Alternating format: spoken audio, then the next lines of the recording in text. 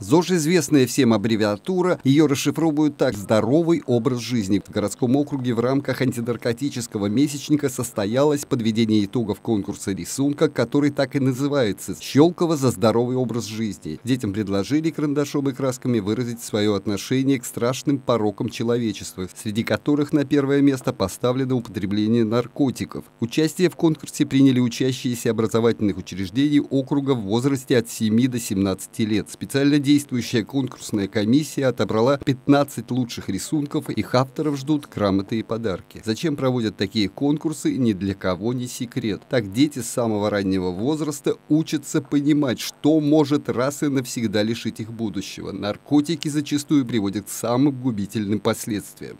Рисунки печатаются и потом распространяется это все по школам, родительским комитетом и всему прочему. То есть у нас выпускаются и календарики, и э, памятки именно для родителей, э, в которых четко прописано, как оградить ребенка от